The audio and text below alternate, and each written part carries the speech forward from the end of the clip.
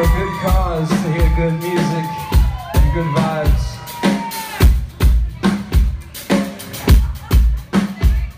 This next song is taking a look at the complacent and telling them to get off their asses and do something about it. That's where the mild things are.